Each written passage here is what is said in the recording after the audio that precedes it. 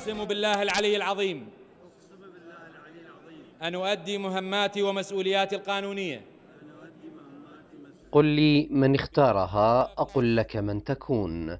إنها حكومة مصطفى الكاظم التي دار الحديث عن أثرها القادم والمتغيرات التي ستحققها. وكأن المتفائل بهذه الحكومة ينسى أن الذي اختارها هو من اختار حكومة عادل عبد المهدي بعد انتخابات أيار عام 2018 فالكتل المسيطرة على المشهد نفسها في كلا الحكومتين ويستحيل أن يمرر شيء أو يتخذ قرار ما دون موافقتها. ولتوسيع الدائرة أكثر والاتجاه نحو جذور المشكلة.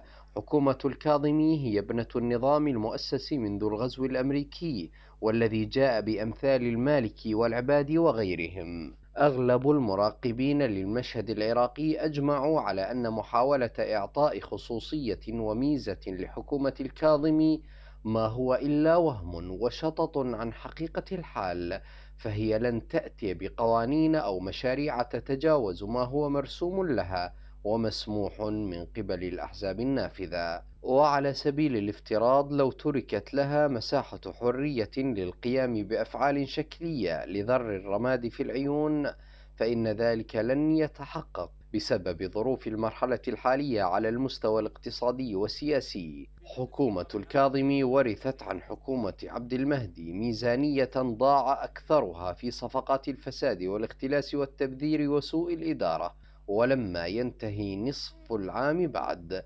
كما أن ميزانية العام المقبل ستكون كارثية بسبب هبوط أسعار النفط. الرفض الزرفي الرفض توفيق الرفض عادل الكل مرفوضين يا الكاظم مرفوض. يا اللي جابتك الأحزاب انت وليد الأحزاب. مو جاي من أجل مصلحة العراق مو جاي من أجل الشهداء من أجل الشعب العراقي.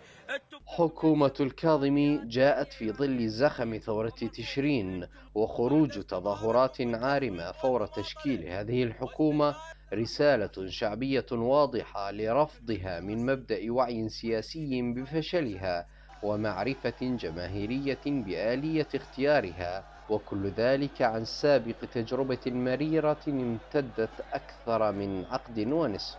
الشعب الذي قال في التظاهرات تسقط الأحزاب هو لم يعترض أصلا على خياراتها لتبدل عبد المهدي بالكاظمي بل اعترض على وجودها في موقع السلطة.